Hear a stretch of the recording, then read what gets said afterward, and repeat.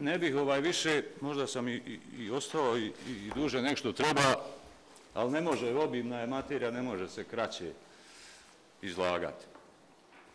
Hvala. Nas je gospodina Slobodana Sjenčića, otvaram diskusiju. Ima li prijavljeni za diskusiju? Ako nema prijavljenih za diskusiju, ja vas molim za tišinu. Prisutno koliko? 22 odbornika. Pristupit ćemo glasanju. Ko je za prihvatanje izvještaja izvršenja budžeta opštine Šamac za period 1.1.31.12.2019. godine? Hvala. Protiv? Uzdržani? Sa 13 glasova za nema, protiv 9 uzdržani, konstatujemo da je usvojen izvještaj o izvršenju budžeta opštine Šamac za 2019. godinu.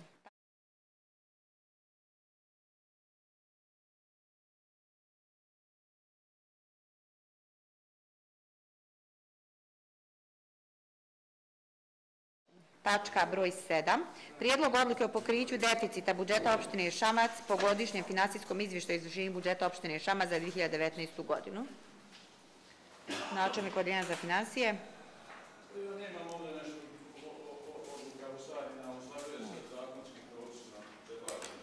Odluka koja prati izvištaju izvršenju budžeta.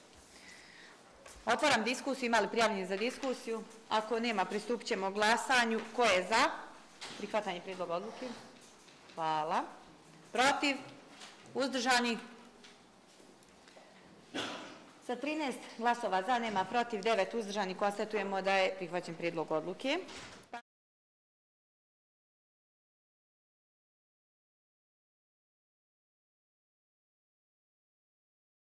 Tačka broj 8.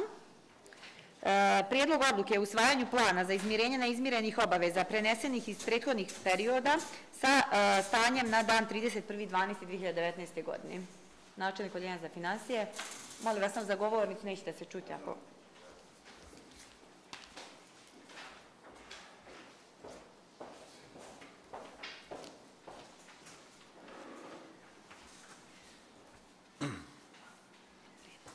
Malo ja ću samo napomenuti da ovo tačka dnevnog reda koja se prvi put nalazi pred vama, iako je zakonska obaveza bila da se to uradi 2016. godine prvi put, sa trebalo je načiniti plan izmirenja prenesenih obaveza sa stanjem da dan 31.12.2015. to nije urađeno. E, 2017. ako se sjećate, ja sam bio protiv toga, i cijelo vrijeme sam pokušavao da se ovo, da to izbjegnemo, obzirom da donošenje sada ove odluke nas uvodi u jedan novi proces, a to je praktično e, smanjenje tekuće budžetske potrošnje za onoliko koliko planiramo po ovom planu izmiriti tih prenesenih obaveza. E, načelnik, ja smo bili u fiskalnom savjetu još dok smo oko ovih kredita razgovarali i tad smo se dogovorili da ćemo krenuti sa ovom aktivnošću.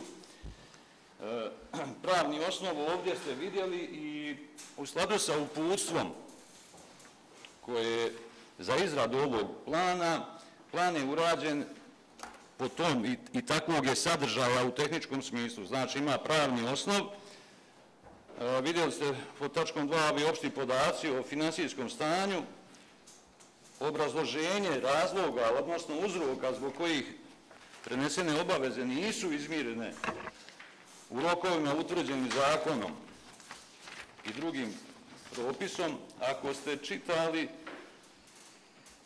mislim da je to sasvim, sasvim solidno objašnjeno, tako i ocijenjeno u, u fiskalnom savjetu, Ima još ova tačka četiri, znači neke relevantne informacije koje su potrebne bile fiskalnom savjetu da bi mogao dati svoje mišljenje. A ja bi vas malo usmjerio na na ovaj tabelarni pregled koji isto tako tim upustvom propisan i on ne može mnogo od toga odstupati, tako je na, na, navedeno. sve ovo što ovdje piše slaže se tačno sa ovim izvještajem iz prethodne tačke i slaže se sa bilansom stanja, naravno sve ostalo bi bilo neistina.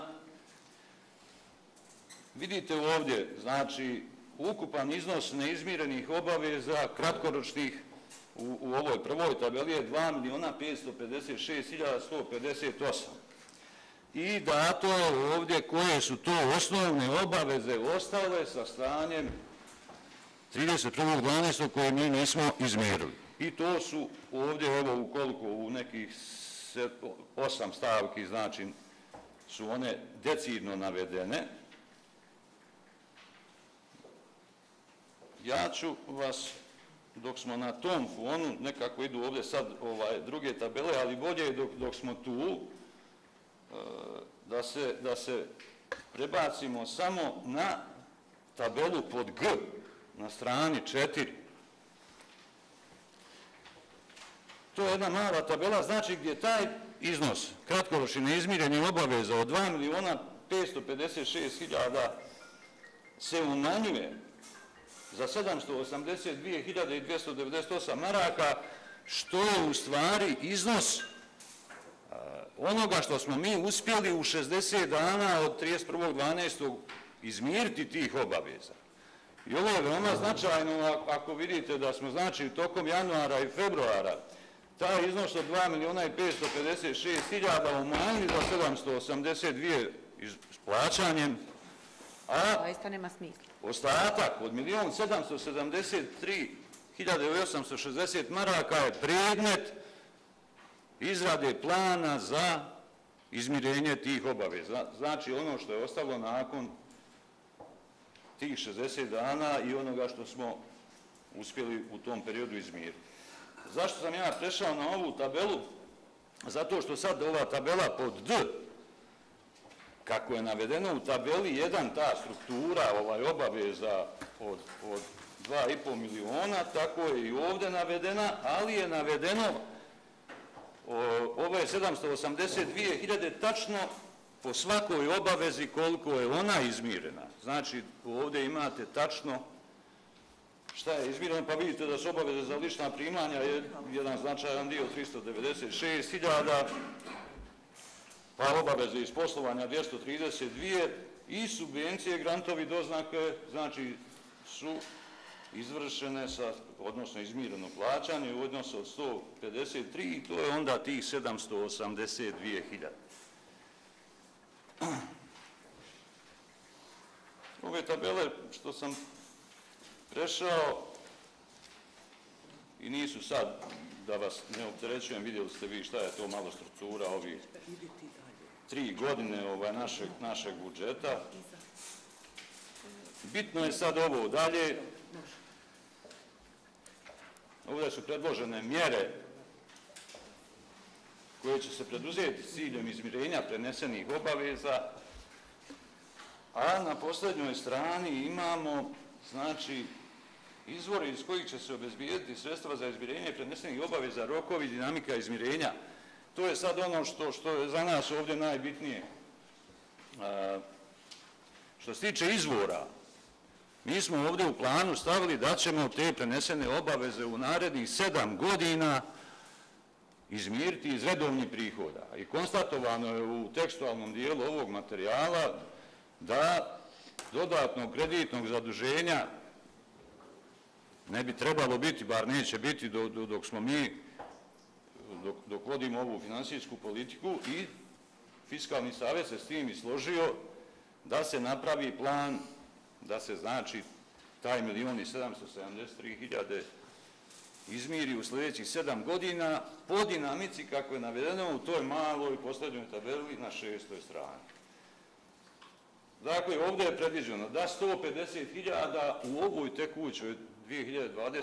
godini izmirimo po tom osnovu. I šta to praktično znači? Da ćemo tu kroz rebalans koji će vjerovatno biti na, na, na sljedećoj skupštini, ako Bog da, morati uvrsti u, u budžetsku potrošnju. I za toliko će se nešto morat smanjiti ili će se za toliko morat povećati prihodi ali u principu negativno utiče na tekuću potrošnju zato što, što imate potrebu da, da se to ovaj, izmiri i onda ovaj, e,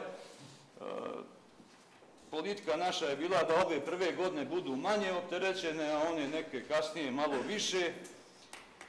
Sugestije su fiskalnog savjeta bilo da nijedna godina ne prelazi preko 300.000 i ovo je maksimum 7 godina što, što smo mogli ovaj, uraditi, inače u principu nekih 5 godina bi bilo idealno po njima, ali obzirom da to radimo prvi put, nekako smo se uspjeli dogovoriti da oni daju pozitivno mišljenje na ovakav, na ovakav plan. Ovdje nemate iskazano, ja ću s ovim sad završiti. Mi smo otprilike za prve četiri godine, znači, će se izmjeriti ako budemo bili sposobni, 873.000 ili 49%, To je za prve četiri godine, a za sljedeće tri godine oko 900.000 ili 51, skoro 51%. I ovaj, evo na, na mišljenje vama podijeljeno fiskalnog savjeta, ko, to smo dobili juče, vidjeli ste da je ono pozitivno uz neke njihove sugestije šta bi trebalo da, na šta da se obrati pažnja. Evo, hvala, ako ima pitanja. Hvala načelnik Odjena za financije. Otvaram diskusiju. Uvaženi odbornik Vedran Đurđević, izvolite.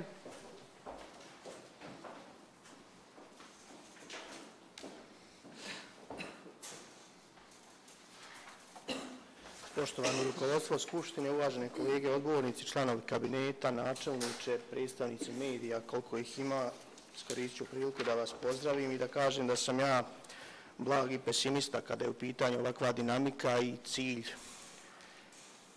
ovog plana, odnosno donošenja odluke o planu izmirenja. Prvenstveno zbog toga što postoje ovdje neki parametri koji meni kao odborniku nisu jasni, a tiču se 30% isplaćenog iznosa u prva dva mjeseca, odnosno na prenesena nenaplaćene, u stvar neizmirene obaveze s 31.12.2019. godine. I onda se ove dvije trećine iznosa stavlja kao plan u narednih sedam godina. Ono što mi također nije jasno je na čemu se zasniva ovaj vaš optimizam da će prihode opštine u budućim godinama rasti, da će se moći skoro za 100% iznosa predviđenog u 2020. godini planirati sredstva za izmirenje tih obaveza u 2023. 2024. 2025. 2026. Ovaj moj skepticizam proizlazi iz činjenice da ste vi u odluci izvršenju budžeta i u izvještaju nenaplaćenim potraživanjima, sad ne mogu se sjetiti, rekli da jako veliku opasnost po budžet opštine predstavlja i presuda potencijalna po tužbi da li stajić Tursa za iznos od 75.000. Znači, nama u ovoj finansijskoj konstrukciji koju imamo i za ovu godinu i za buduće godine, jedan balast, jedan strah izaziva potencijalna presuda od 75.000 možda s kamatama, a plan, pra, planiramo ovako optimistične konstrukcije. I najposle opština Šamac se zaduženjem u iznosu 2 miliona 900 hiljada maraka, ja ne znam kolika je načelnič odjeljenja kamata i koliki je iznos anuiteta koji nas čeka u budućem periodu, na koji period je taj, sad vjerujte da se ne mogu nisjeti, na koji period je taj kredit zaključen, budžet opštine Šamac će biti u prosjeku opterećen još za dodatni 250 do 300 hiljada maraka godišnje kada je u pitanju samo otplata anuiteta po tom kreditu. Dakle, sve ovo što urađeno, mišljenje finansijskog savjeta, ja mislim da je Milan Simić i do ranijim godinama potencirao da ova opština absurdno je da se pravi ograda, nema, nemaju se kućna vrata. Znači, mi smo ove godine ušli u kapitalne investicije u iznosu od 700.000 maraka, imamo presudu na osnovu spora sa MBS grupom od 2 miliona, imamo potencijalne presude koje nam vise nad glavom, imamo potencijalne tužbe zbog toga što se ne plaćaju dospjela potraživanja. Ne treba nas napomenu da odbornici nisu dobili zadnja dva mjeseca plate. Mi razumijemo u kakvom je stanju budžet opštine Šamac. Ali postoji milion tih stvari koje terete i remete poslovanje i funkcionisanje finansijskog okvira opštine Šamac i Na sve to mi ne možemo projektovati kakvi će biti privredni i finansijski tokovi u budućim godinama obzirom da ekonomske posljedice ovog koronavirusa još nisu ni počele da se manifestuju. Mi smo imali još uvijek doznake iz uprave za indirektno porezivanje u nekom normalnom iznosu, međutim to je vjerovatno bilo zbog nalog uvoza roba da bi se zasitile te potrebe stanovništva koje je bilo u strahu. Mi ne znamo šta će u budućem periodu obzirom na i nagli pad cijena goriva, na vjerovatno nagli pad koji je već sad evidentan. Vi imate otpuštane na opštini Šamac. To će biti vjerovatno tema za sljedeću sjednicu Skupštine, obzirom da ovoj na ovoj sjednici Skupštine nije bilo izvještaja rada načelnika i razumijemo, mi nismo tijeli da komentaršemo tačku koja se tiče aktivnosti, podržali smo aktivnosti kabineta u vezi koronavirusa, mi smo dočekali da su ljudi koji postoju na teritoriju opštine Šamac počeli da otpuštaju radnike. Znači, nas kao opštinu, kao republiku, vjerovatno širi geografski region, nas će u narodnom periodu dočekat pad ekonomske produktivnosti, vjerovatno pad zapošljavanja, pad prometa, usluga i roba koje će nama garantovati da ćemo mi moći puniti opštinu kroz direktne ili indirektne prihode. Zbog toga smatram da je ovakav plan izmirenja obaveza trebalo donijeti. Savez nezavisni socijaldemokrata će biti uzdržan iz razloga nešto misli da ovakav plan izmirenja nama ne treba, već što smatramo da kakva je dinamika prihoda sad, rasta prihoda, rasta rashoda, imajući u vidu smjernice koje ste dobili iz Fiskalnog savjeta Republike Srpske da je nužno smanjiti neproduktivne prihode, imajući u vidu činjenicu da je 31.12. režijski troškovi kabineta načelnika da su uvećavani. Znači, bitno je tu napraviti malo veće zaokrete, ispoštovati one preporuke koje se tiču maksimalnog broja zaposlenih u lokalnoj samoupravi. Mi smo imali zapošljavanja u zadnjih 10-15 dana u lokalnoj samoupravi na plate koje iznose bruto i preko 2000 maraka. I to je opterećenje opštinskog budžeta za iznos od 25.000 godišnji.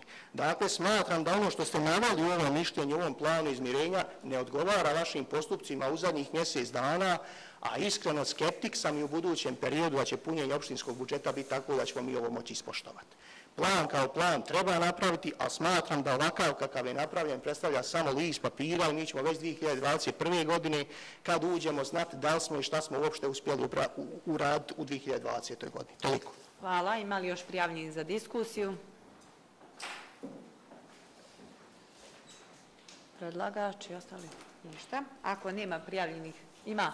Može, može. E, načelnik od jedan za financije ili... Izvolite, izvolite, izvolite. Izvolite.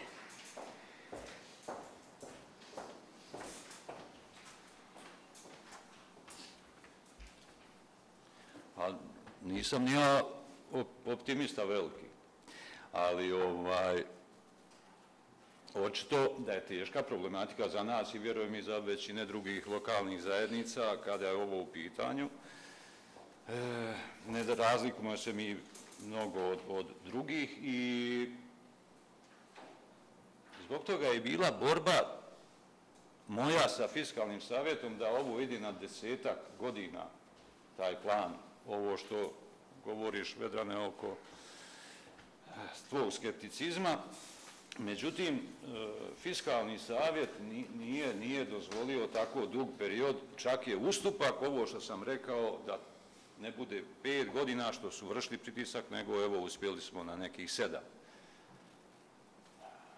prvobitno u toj komunikaciji s imam predložio, sam ili smo predložili da se u ovoj tekućoj godini, znači 20, to je zbog svega ovoga što se dešava i sa padom, strašnim padom priliva u posljednjih mjesec dana po, po svim osnovama i od uprave za indirektno oporezivanje i vlastitih prihoda, nije to malo, nije to pad za 10-20% koji možete izdržati, to je deset puta, ponekad manje u dnevnom iznosu.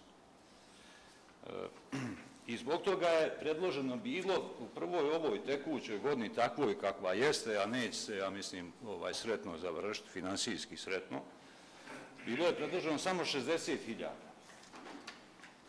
Ali zato o, o, takav jedan pristup da to bude 60 u ovoj pa 90 u 21 Eh, dovodi do toga da onda u ovoj sedmoj bude 560. I s tim se fiskalni savjet nije, nije ovaj slagao. Mi ovdje e, nemamo mnogo rješenja i toga, bar ja sam toga svjestan, e, znači, zatekli se sve obaveze takve kakve jesu. Mi se s njima moramo nositi i to što smo ja nosio i načelnik na sebi ovaj teret što ovo nismo stavili na dnevni red, znači mi smo kršili zakonski propis, mogli smo odgovarati, plaćati kazne. Ali eto, uzeli smo ta rizik na sebe, upravo iz tih nekih razloga koje si naveo da, da, da, da nismo u stanju da, da to izmiri. I nama će velik problem biti a ovo sada praktično, ne znam, valjda se razumijemo. Znači, mi jesmo 700 koliko, 70, 780.000 samo za dva mjeseca izmirili. Mi ćemo ovih obaveza, znate koliko ćemo mi izmiriti ovaj, tokom ove godine? Pa izmirit ćemo preko miliona tih prenesenih, ali ćemo stvoriti novih. Pa će one s 31.12. Ovaj, 20. biti prenesene na 21. Šta je sad suština? Da smanjimo budžetsku potrošnju s ovom stavkom od 150.000. Ona mora biti manja da bi stvorili prostor da, da, da, da te obaveze zatvorimo, a da nove ne stvaramo. Zbog toga oni ovdje sugerišu e, smanjenje neproduktivnih investicija naših i smanjenje neproduktivnih rasuda gdje misle vjerovatno na pomoći subvencije razne i tako da. Mada su subvencije u principu ovaj, nisu neproduktivne ako nekom pomažete u privredi. Jel? Ovaj, tako da ovo dosta, dosta škakljiva ova, problematika, ali je zakonska obaveza i maksimalno što smo mogli izvući. Šta je, ovo je sada jedan presjek stanja, globalan dokument. Sad je na, na načelniku da donesemo operativni program mjera koji se već realizuje, ja sam to ovdje napisao u tekstualnom dijelu. To djelovanje oba dva pravca, povećanje prihoda i, i smanjenje rashoda, mora rezultirati da, da, da se s ovim nosimo. Ako ne mognemo, bit ćemo u većem problemu, ali znači moraju se preduzeti mjere da to bude, da to bude tako. Evo, to je ovo što sam ja mislio. Hvala. Načelnik opštine. Izvolite.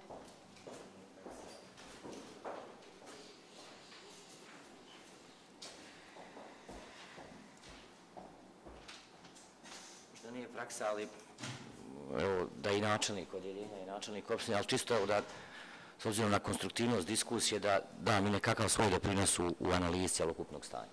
Dakle, potpuno nam je jasno da prvi put se upuštamo u nešto što je obaveza svih ovih godina od 14. i 15. i tako dalje bila na nivou Republike Srpske. Ne sa većina, skoro opština ovo i ne uradi. Krenuli smo u to potpuno svjesni stanja u kojem smo. Potpuno svjesni stanja ne ulazeći u bilo kakve političke diskusije, molim vas, stanja i naslijeđenog duga i ovih posljednjih 3-4 godine. Načelnik je malo prije potpuno rekao, naš prijedlog je bio da ove obaveze iz prethodnog perioda i da predložimo fiskalnom savjetu i dva puta smo bili sa predsjednikom fiskalnog savjeta, svedimo na 10 godina. To je za njih bilo neprihvatljivo i on je vam je malo prije rekao da je praksa da to ide u 5 godina. Kroz neke razgovore, dopisivanje, prepisivanje, uspjeli smo da to napravimo na 7 godina i dobro je malo prijasno rekao, dakle, niz operativnih mjera koji mora da, da se primijeni kako bi došli do ovoga. To naravno da podrazumijeva određene uštede, naravno i po pitanju broja zaposlenih u vremenu koje dolazi, ali i po pitanju drugih i naravno, evo, kad govorite o kapitalnim investicijama i tom dijelu, i kad govorimo o zaduženju, ako govorimo o ovom prethodnom periodu 3-4 godine, mi smo morali izvršiti, svi smo se složili oko toga, tu nismo imali političkih razlika, da moramo restrukturirati dug po osnovu emisije obveznica. Jer ovo što malo prije Slobodan reče, nije to sam bilo 5 miliona, nego je u suštini bila takva struktura duga koja je sva morala da se isplati, to je bilo do, došlo do blokade. Svi smo se složili da da tamo moramo taj problem riješiti. Pored tih obaveza koje smo imali, mi smo tada uzeli 500.000 konvertibilnih maraka. Mimo toga, je li to tačno? Pored naravno kamata koji. Nakon toga dolazimo do ove situacije do koje dolazimo i ona je ovdje jasno u ovom razloženju rečena. Dolazimo do situacije 2 miliona i 200 hiljada maraka MBS grupe bazena i pored toga govorimo o 700 hiljada maraka kapitala. Otvoreno ću reći da je namjera od koje još nismo odustali, hajde da vidimo, a to će podrazumijati eventualnu promjenu skupštinske odluke, da ti 700 hiljada maraka 200 upravo bude za izmjerenje, takva je prvobitna bila namjera, 200 hiljada maraka za izmjerenje starih obaveza, a isključivo 500 hiljada kapitala. S obzirom da nije postojala vrsta plana, onda nam fiskalni savjet nije dao saglasnost na 200.000 e, e, izmjerenja e, prenesenih obaveza, nego isključivo insistirao na tom da svi 700 bude kapitalno. I ponovit ću još jedan put, ovih 200.000 maraka od 700 koje se nalaze na računu, za sada mi držimo na računu i nismo u namjer da odmah kapitalno uradimo u 2-3 mjeseca i tako dalje. Dakle, ako uzmemo ovih 500 i ovih 700 bez kamata, to je nekih milijoni 200 za ovaj neki mandatni period. Naravno, ovako smo u financijskoj situaciji kako je generalno jesmo, a mogli smo biti i prvobitno 2017. i evo sada 2020. u januaru blokirani. To je potpuno jasno.